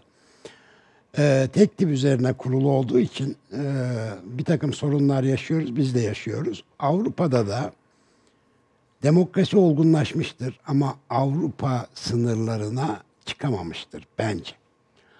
Evrenselleştirememiştir Avrupa demokrasiyi. Ama orada iyi bir maya var. Onu kabul edelim. Bütün e, arızalarına rağmen. Bir kültür var gerçekten. Elbette. şunu söylemek istiyorum. Yani bu bu tabii doğrudur, yanlıştır. İyi, e, doğrulandığı örnekler vardır bu söylediğim. Bu böyle bir kendi atasözü gibi bunu yaşayarak görmüş. Bak diyor yani babamın lafını diyor bir kere daha yaşadım e, ticarette diye anlatıyor. Şimdi ama peki bu bu bu e, deneyim nereye gitti? Yani bugün her şeyi tekrar mı başlatıyoruz? Yani filancalar bu işi ya- iyi yapar. Bazen filan- evet Yani tekrar başlatmak bu gerekiyor. kadar yani bu kadar başa mı döndük? Hala e, halo etkisi ve horn etkisi diye yine bu kadar basit ve primitif bir yere mi dönüyoruz? Baş, hayır başka bir toplum var. Onu anlamamız gerekiyor naçizane. Ben artık bu yeni toplum için yaşlılardan birisi olarak hani son şeylerimi, eski tecrübelerimi paylaşmaya çalışıyorum mesela ama yetersiz kalıyorum. Çünkü ben büyürken 150 civarında kişiyi tanıyarak anlaşabildiğim bir dünyada büyüdüm. O zaman mahalle önemliydi, dini inançlar önemliydi, kültürel değerler önemliydi. İşte bayram ziyareti, efendim bayram namazı şu bu bunlar çok önemli şeylerdi. Şimdi benim çocuklarım milyarlarca insanla potansiyel olarak akrabaları kadar yakın bağlılar. Bu işte ağ toplumu demeyi tercih ettiğimiz şey. Yani bir ağda bağlıyız ama ağın ucunu bucağını bilmiyoruz ve beyin kabuğumuz, beyin kapasitemiz bu kadar çok insanla ilişkiyi kaldırabilecek şekilde organize edilmiş değil. O yüzden baş edemediğimiz bu kalabalığa karşı antik silahları devreye sokuyoruz. Ormanda canımız tehlikedeyken ne yapıyorsak burada da aynısını yapıyoruz. Yankı odalarını kuran teknoloji ya da algoritma bunun için hiç zahmet etmesi gerekmiyor ki. Biz zaten bir sürü fikirden öyle bunalmışız ki hocamın dediği gibi kafa konforuna oturacak ilk yeri bulduğumuzda aha bizimkiler hadi bakalım öbürünü linçleyelim'e çok kolay oturabiliyoruz. Dolayısıyla bu yeni toplum yapısının ne kadar e, belirsizlik yaratan ve sıkıntı üreten bir şey olduğunu önce anlamamız lazım. Başka bir dünya burası ve artık mesela Ermeniler, Yahudiler, Türkler bilmem neler diye grupların hayatta kalamayacağı bir yerdeyiz artık. Çünkü o kadar çok kültürel bombardıman ve alışveriş var ki işte bir de artık bir hakikat yok. İşte bir post-truth dedikleri hikaye var ya. O bazı doğrularınız vardı. Onların çevresinde toplanıyordunuz. Bir öykünüz vardı. Artık o yok. Oradan bir öykü geliyor, buradan bir öykü geliyor. Eklektik, ortaya karışık bir şey yapıyorsun. Diyorsun benim öyküm bu, ben buna göre yaşarım. Her şeyi böyle dizayn edebildiğimiz bir dünyada onu bulamayacağız. Ama başka bir şey Peki şey nerede? Yani e, köyün delisi nerede? Yok işte. E, köyün bilgesi nerede? E, yaşlısı nerede? E, işte Şaman'da bahsettiğimiz e, o ada öbür Ya taraftaki çok güzel bir şey diyesin Ya, geldi. Köyün delisi psikiyatri hastanesinde. Köyün bilgesi üniversitede ya da başka bir yerde. Neydi öbürü? Köyün Ya işte ne bileyim büyücüsü. büyü- büyücüsü. işte o da muhtemelen şimdi hekim hekimlik bilmem Ya, nelik yapıyordu. Hayır bunlar peki bu tecrübe nerede birikiyor? Yani tamam böyle e, çok geçişli e, bombardıman dediğin gibi bö- böyle bir yerdeyiz de bu nerede biriktiriyor? Yani her her Naçizane- mahallenin kıraathanesinde bir tane e, hafif yaşlıca bir bilgi adam oturmaz mı? Filancayı sorduğumuzda o bize sonuçta demez mi? Değişmez o, huzur ben size söylemiştim. Yani o değişmez o demek tamam umutsuz bir şey değişmez o demek ama yani o öyledir diyen birisi. O da huzur evinde O ne? Hayır o, O o, şeyde artık. o e, Twitter'da kanaat önderi olarak durmuyor mu? Ne olduğunu yok, bilmiyoruz onlar yok. filan. Onlar Ya, yok. Şimdi işte benim naçizane Peki hangi önerim tecrübe? bir cümleyle, Hangi tecrübe peki? adına kadim dediğimiz bir tecrübe var. Sümerlerden beri, yazı var olduğundan beri gelen, dinler, anlatılarla bilmem ne bu tarafa doğru gelen yığınla bir şey var. Şimdi akıl, bilim, sağduyu ve işlevsellik. Seçki yapacak, işimize yarayan şeyleri bize anlatı olarak, değer olarak sunacak. Başka bir çaremiz yok. Yeni anlayış kutuplarına ihtiyacımız var. Yeni anlayış merkezlerine. Bu artık devletler değil, bu artık dini otoriteler değil. Bunlar bitti yani. Kimsenin devlete, dini otoriteye güveni kalmadı. Başka odaklar çıkacak. Ben de heyecanla bekliyorum. Ben Hayır onlar Bu bir e. Instagram'da e, ticari e, şeyler, olarak influencerlar olarak yani bütün Evet. bütün çünkü- kazanıyorlar yani şöyle kanaat önderi şey. kanaat önderi olabilecek insanları e, ticaret gurularına alışveriş e, influencerlarına çevirdiğin zaman zaten problem ortaya çıkıyor. Ben ona şey gözüyle bakıyorum. Ee, ben de bu arada e, sürekli kendi çalıştığım markalara da aynısını söylüyorum. En büyük probleminiz kurumsal hafıza sorununda e, konusunda oluşmuyor. Neden oluşmuyor? Şimdi Türkiye çok genç bir cumhuriyet. Çok dinamik bir cumhuriyet. Yine oluşacak. İkinci yüzyıla doğru gidiyoruz. Şimdi bunun iki tane sebebi var. Bir, çok genç olmamız. İkincisi iç göçün bir türlü durmaması. Evet. Yani öyle bir iç göçle karşı karşıyayız ki her günü yeniden tanımlamak zorundayız ki bütün veri şunu gösteriyor. 10 yıl içinde 90 milyon olacağız. 90 milyonluk Türkiye'nin %70'i 15 mega şehirde yaşayacak. Hangi 15 mega şehir? Bizim 3 tanemiz var. Demek ki 12 tane daha geliyor. Bu kadar iç göçün olduğu bir dünyada kurumsal hafıza oluşmaz. Sistemin oturması için bu iç göçün durması ve artık tamamdır ya bu ülke bizim dememiz gerekiyor. Bunu dememiz için de eee, biraz vakte ihtiyacımız Ha bir var. de şöyle bir şey var. Yani hep bahsettiğimiz vahşi kapitalizm bütün kurumsal olanı, eskiden beri geleni, bir tarihi olanı e, bir anda yok ettiği için onlar hemen bir fonlara satıldığı, bilmem ne yapıldığı ve paramparça olduğu için bir yeni fon yöneticisi, CEO, e, 100 yıllık bir markayı bile alaşağı edebildiği için bir aptal. Yani dolayısıyla yeni markalar yaratılıyor. Yeni markalara tabii ki logo e, ya da işte e, tanıtım, reklam bütün bunlar çok önemli ama hepsinde ben herkesten şunu dinliyorum. Muhakkak buna bir story yazmamız lazım. Dün kuruldun. Hangi story yazacağız? Bir story yazılıyor. İşte Kur'an'ın oradan de- dedesinin Dedesi yaptığı gelmiş, işlem. şey bulmuş. ya bizim mahallede bir melemenci açıldı 1827'den beri dedi ya üzerine. Açıldığı gün. Beni domatesi 1827'den beri kesiyor. Yani yani bu hani Neredeyse domatesin ya tarihi. evet bu domatesin tarihi gibi. Yani ne olmuş olabilir 1827'de diye düşünüyoruz. Yani bu hemen bir e, hikaye yazılmaya çalışılıyor. Hemen çünkü bir markanın hikayesi olması e, gerekiyor mutlaka. Ama hikayesi olan markaları da yok ediyorlar bir yandan da. Yazılabilir ama İkinci Okan sebebi Bey. de- yani Yazılabilir. bir e, şöyle düşünüyorum ben. Bir genişlemesine zaman çizgisi üzerinde oluşan hikayeler vardır. Bir de derinlemesine hikayeler yazılabilir. Derinlemesine hikaye zaten şu anda en çok ihtiyaç Nasıl duyulan. derinlemesine hikaye yazacağız? Ya bir konuda mesela bir derde çözüm üreten değil Bunu mi? tarihe bağlamak şart değil yani. Ben Değer 1800 ile ilişkili sanırım. ben onun yerinde olsam menemenci olsam 1800'den falan hiç bahsetmezdim yani. 1800'den beri domates. Ama nasıl tatlı bir dükkan. Çok mütevazı. Oradaki esnafa filan melemen yapıyordu. hikaye. Yani O tatlı kapandı sonra. 1827'den beri açıldı. 2020'de kaybetti. bir sene sonra kapandı. Ee, ama 1820 Ya işte açıldığında ikinci 1827'den sebebi beriydi. İşte o tatlı ve mütevazı dediğiniz değerler var ya. Evet. Aslında onu öne çıkarsaymış Evet, bir yaşarmış yani. Evet. Birincisi bir türlü ülke... Hayır zaten o yüzden yok olmuyor. Mutlaka orası birisi de satılmıştır, yeni bir kiracı gelecektir filan. Yani böyle bir şeyden zaten Bir türlü kapanıyor. ülkemize oturamadık. Bir türlü İstanbul'a oturamadık. Bu birinci sebep. Oturamadık, Sürekli evet, Oturam- evet. Bizim olmadı yani. Bize olmadı. İkinci sebep de e, bir türlü gençliği fazla övüyoruz. Ülke bir türlü yaşlanamadı. Genç Çok doğru. Ülke birazcık yaşlanırsa o zaman kolektif hafıza oluşur. Yani başladık bu arada yaşlanmaya hala panikle. Hep üç çocuk üç çocuk diyoruz. Çünkü gençliği olduğun, olması gerekenden fazla övüyoruz. Genç ülkelerde böyle bir hafıza oluşmaz. Ülke biraz yaşlandığı zaman döner ve der ki kurumsal hafızama hafızam nerede ve buna, ben bununla ilgili ne yapayım? Şimdi yaşlanmaya başladık ya hep panik durumda bakıyoruz verilere ama bu yaşlanma bize birazcık kurumsal hafızada mutlak bir şekilde getirecek. İnşallah. En çok Yani evet bu şey yani en azından mesela bizim yani yayıncılar olarak mesela problemimiz mesela ben e, yaşlanıyorum, yaşlandım ve yaşlanmak da istiyorum. Tabii ki. Çünkü her e, geçen yıl diyorum ki bana biraz daha akıl e, ilave oluyor ve eski salaklıkları yapmayacağım.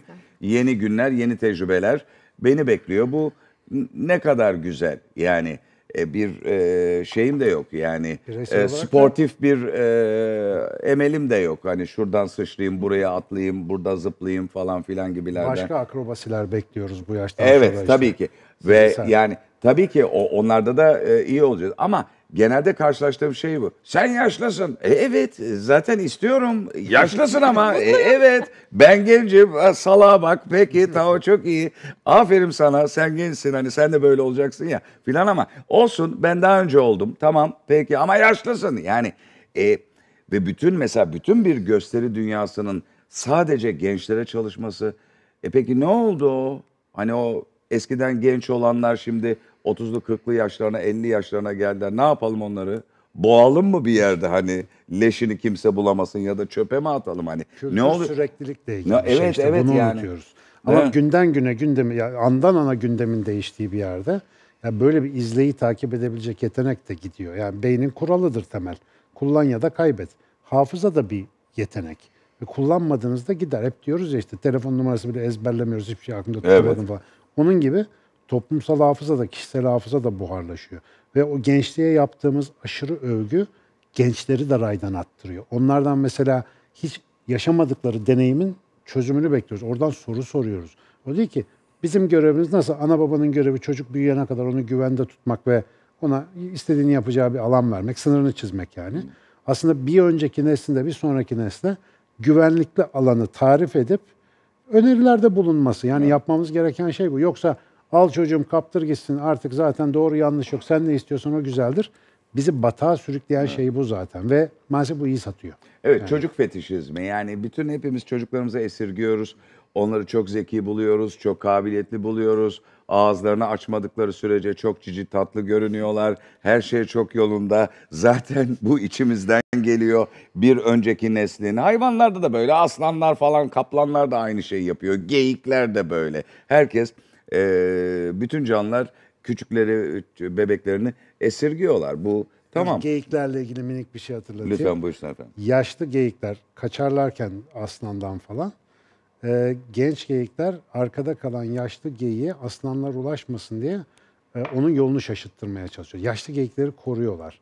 Önce buna bir anlam verilemiyor çünkü hani seçilim açısından bırak yesin onu gençler devam etsin. Sonra geyikleri izlediğinizde yaşların fonksiyonunu görüyorsunuz. Yaşlı geyikler e, mesela bir yerde otlarken bilmem ne yaparken böyle bir tanesi kalkıyor şu şu tarafta bir yere bakıyor mesela. İkinci, üçüncü yaşlı kalkıyor o da aynı yere bakıyor. 4-5 tane yaşlı geyik kalkıp aynı yöne baktığı anda bütün sürü oraya doğru göç etmeye başlıyor. Onlar aslında daha iyi yerin neresi olduğunu deneyimle depolamış e, bilgeler ve hayvanlarda bile yaşlıyı korumak var. Çünkü o bilgelik hayvan sürülerinde bile bir ihtiyaç. Onların da kurumsal hafızaya ihtiyacı var yani. Ama- Japonlarda da var hocam. Tabii var. Yani bizim zaten hani geleneksel toplumların hepsinde çok önemlidir.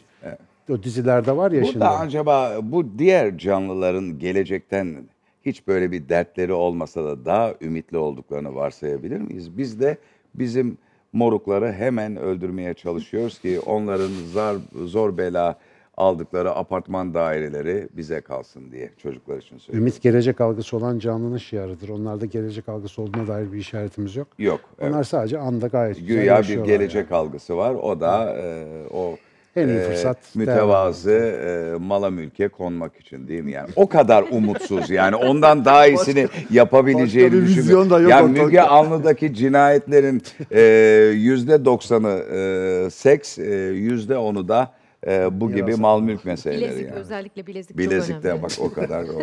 Peki şimdi var. burada konuştuklarımızdan bu halo ya da horn e, etkisi konusunda insanlığın hiçbir şey değiştiremeyeceği mi ortaya çıkıyor efendim? Türkiye olarak biz hemen bir şeyleri yasaklamaya çalışıyoruz. Çünkü hiç mevzuya daha büyük bir resim içinde bakmıyoruz. Dolayısıyla yapılabilir. anlamadan yasaklamaya Aynen. çalışıyor. Dolayısıyla e, şunu o karanlık dünyamızdaki bütün insanlığın paylaştığı o kara, karanlık kısa yolları değiştiremeyiz.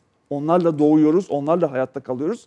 Ama sosyal normlarda, etik normlarda yeniden bir şeyleri tanımlayabiliriz. Bugün Birleşmiş Milletler'in İnsan Hakları Beyannamesini yeniden yazmamız lazım. Dijital haklar olarak, e, verinin işlenme şekli olarak. Dolayısıyla yapılacak işler var ve düzeltebiliriz bunları ama insanın hayatta kalma dürtülerini değiştiremeyiz. Onlar Filmlerde başrol oyuncular hep yakışıklı ve güzeldir. Bunun sebebi Onların aynı zamanda iyi olduklarını da göstermek içindir. Çünkü ilgi o yöndedir. Erol Taş kötü adamdır.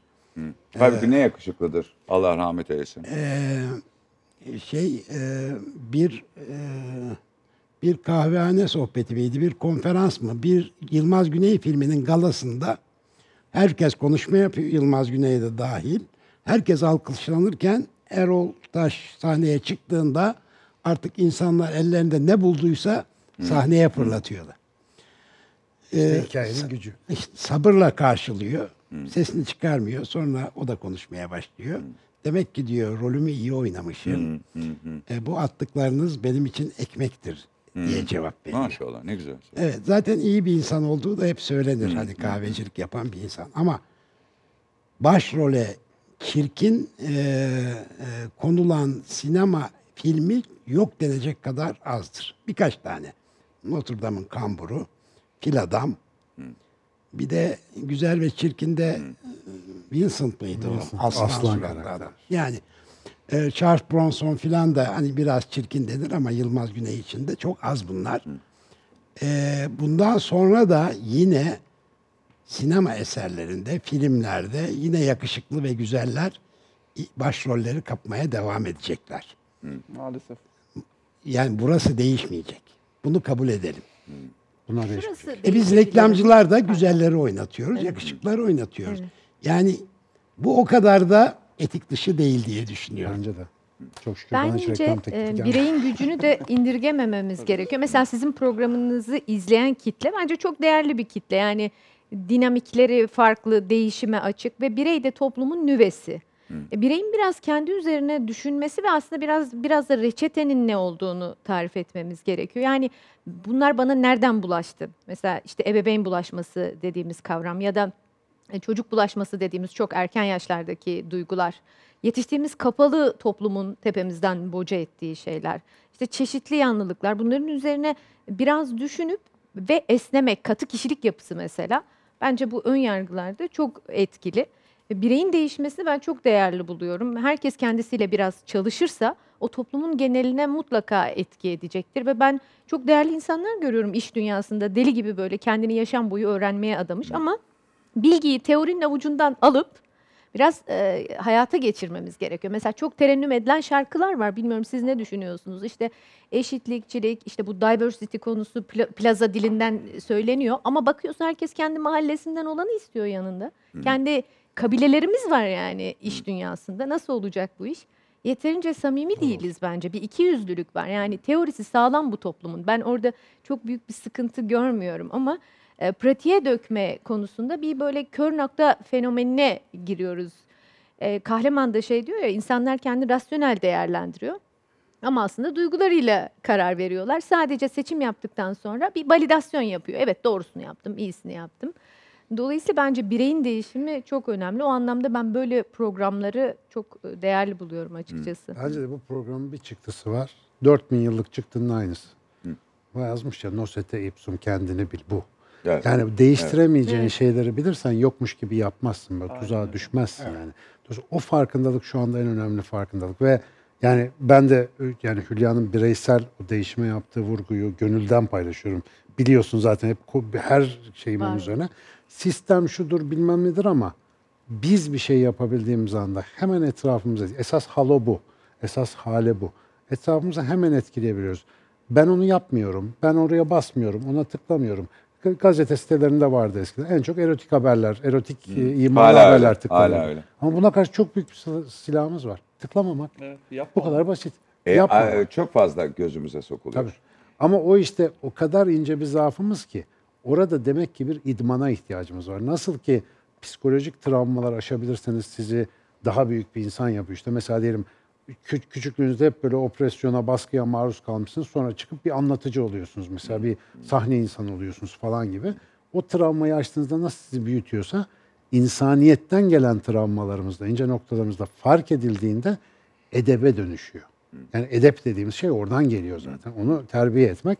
Yani birbirimize herhalde daha çok bunu hatırlatacağız. Bu vesileyle de teşekkür ederim. İnsan inşasına ihtiyaç var. Muhakkak her İnsanın zaman. kendi kendini inşa etmesine e, diyebiliriz Hepimiz aslında. birlikte. Evet bence. tabii dayanışarak Kendi yani. kendine olmuyor galiba. Tabii ki O- bir de e, işte Netflix gibi platformların e, son e, eklediği e, dizi üzerine e, konuşmak, e, 40 yılda bir e, bir arkadaş bulursan çalıştığı yerden filan hani aynı şeyi o da seyretmiş filan. Bunun biraz onun üzerine bir sohbet e, olabiliyor. Oradaki bir yaratılmaya çalışılan tartışmanın tarafları olabiliyorsunuz. E, siz de konuşarak. Şimdi bu tartışılacak. E bu da bu evet çünkü hakikaten öyle şeyler var. Yani bizim bizim ulusal kanallarımız artık aynı etkiyi yapmıyorlar. Bir tartışma üretilmiyor zaten. O sadece e, bir illüzyon ve uykudan önce dizilerine döndü. Yani ancak o tartışılıyor ama bunun yanında e, ben genelde tiyatro kulislerindeyim. Hep farklı farklı oyunların kulislerindeyim. E tiyatrocularda tahmin ediyoruz ki hep böyle entelektüel insanlar. Çünkü tiyatro gibi kütüphanesi olan bir sanatla ilgileniyorlar. Yani kitapla haşır neşirler falan. E, kulislerde konuştuğumuz şey genelde bu e, Netflix e, dizileri oluyor. Yeni bir kitaptan söz eden, çok da çok da kitap basılıyor, çok da okunuyor, çok da satıyor, çok da dinleniyor kitaplar. Evet, bu da doğru. Fakat belki de insanlar e, ağızlarını açmak konusunda e, çekingenler. Çünkü e, dün gece televizyonda seyrettiğim şeyi mutlaka artık bu seyretmedi. Yani tekil izlemelerden dolayı, farklı zamanlarda izlemelerden dolayı, VOD meselesinden dolayı.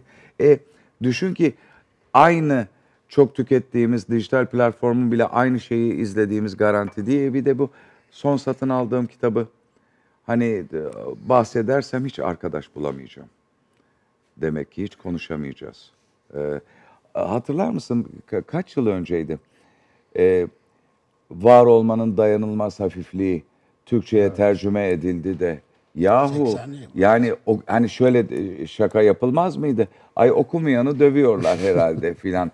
Yani bir yeni çıkmış bir dizi gibiydi. O yeni gelmiş bir film e, gibiydi. Çünkü az tüketim Tabii. vardı. Ama artık dünyayı değiştirecek kitaplar yazılamıyor. Çünkü kitap dünyayı değiştirme gücünü kaybetti. Şimdi Öyle mi medya öyle- öyle mi düşünüyorsun? Yok, okunmuyor çünkü. Yani o kadar hızlı dolaşıma girmiyor. Onun yerine çok hızlı tüketilebilen şeyler var. Artık troller dünyayı şekillendiriyor. Evet yani. peki ama yine de kitap e, tek başına yani Kitap tek dip inşa. Ya onu söyleyeyim. Ben hala kitap yazıyorum. Evet, Niye? evet. Dipten inşa etmek evet için. hem öyle O kalıyor. hem de bir ki ama bunu bir kişi olarak yazabiliyorsun. Yani sana gereken şu anda nasıl yazıyorsan bir bilgisayar, bir e, laptop, bir şey falan ve ondan sonra e, çok da e, komplike aşamalardan geçmiyor. Yani işte bir redaksiyon yapılıyor değil mi? Bir düzeltmen okuyor falan filan ve sonra basılıyor ve hemen yayınlanabiliyor. Bütün bu düşüncelerini alıp bir film ya da bir dijital platform dizisi filmi yapmaya kalkışsan kaç yüz kişi işin içine girecek, bütçe meselesi işin içine girecek ve dolayısıyla artık anlattığın hikaye bambaşka çünkü bir başka sanatın, gösteri sanatının malı olacak ve başka bir şeye dönüşecek. Aynı malzemelerle yapıyorsunuz ama fast food'la hünkâr beğendi arasındaki fark gibi. Yani popüler dolaşımdaki bilgiyle şöyle bir kitabı açıp da oturduğunuzda okuduğunuz şey bence kitap hünkâr beğendi. Orada ustalık, orada demleme, orada ama eti, patatesi, tuzu, yağ hepsi aynı. Öbürü hızlı tüketilen bir ürüne dönüşüyor. Uzun vadede hangisinin daha ama faydalı kitaplar ama belli. kitaplar e, e, yani insan kendisini tekrar inşa ederken başka fikirlere e, hazır hale gelmesi için ön yargılarını kırması için daha iyi araçlar değil mi? Ben şu Büyük bir kitlenin nörofizyolojik kabulüne olarak- sunulan dijital platform dizilerine oranla. Nörofizyolojik olarak şunu söyleyeyim. Kitapla ilgili öz ritim diye bir özgürlüğümüz var. Okurken durup, kapatıp, düşünüp not alabiliyoruz. Akış halindeki bir medyada onun hızına uymak zorundasınız. Ve düşünce zincirinizi, düşünce sistematiğinizi bir nevi oraya şey yapıyorsunuz, eşliyorsunuz. Ve dolayısıyla biraz doğurganlığı çok engelleyen bir şey ama bir başka bir şey daha keşfettim. Mesela demin dinleme işte podcast'tir, sesli kitaptır. Bu yeni bir öğrenme modeli. Benim buradan umudum var. Çünkü yürürken kafamız daha iyi çalıştığı için Evet. düşünce hızı muhtemelen edinmeyi daha hızlandırabilir. Ama tabii ki bir ne bileyim Oliver Twist'i tutup da basılı bir kitaptan okumakla onun arasında çok büyük bir fark var. Bunlar başka deneyimler. Ben böyle yeniyi hemen ay çok iyi oldu ya da üf çok kötü eskisi güzeldi tadında değil de biraz izleyip dataları görmek gerektiğini düşünüyorum. Mesela bu sesli eğitim işi beni sarıyor şu anda. Hani onun biraz etkilerine bakacağım. Kendim denemeler yapıyorum kendi üzerimde. İşte biraz dinleyerek, biraz okuyarak kıyaslamaya çalışıyorum. Fena bir yöntem değil gibi ama izleyerek tüketebildiğimiz içerik bize görsel bir imaj bombardımanı yapıyor. Ve düşüncemizin en kuvvetli bölümü olan görmeye dayalı muhayyileyi, hayal gücünü kısıtlıyor. Yani e, şey bu, ben Tom Sawyer'ı 30 kere okumuşumdur küçükken. Sonra bir film uyarlamasını seyrettim, depresyona girdim. Bu ne biçim Tom Sawyer, bu ne biçim Huckleberry Finn. Evet. Hiç yani kitaptaki gibi değil. Herkes kendi filmini çekiyor. Aynen öyle. Evet bravo. Aynen. O bakımdan Ve o muhayyilemizin özgürlüğünün kısıtlandığı bir dönemdeyiz. İşte o da artık hayata biraz başka bir boyut getiriyor. Çok da kötü gömmeyelim yani ama başka bir boyut geliyor işin içine. Peki efendim. Çok teşekkür ederiz. Çok sağ olun. Biz Harikuladeydi. teşekkür ederiz. Var Bu e, basit gibi görünen ama insan hayatını derinden etkileyen konuda harikulade bilgiler edindim. Teşekkür ederiz tekrar. Çok Haftaya görüşmek üzere. Sağ olun.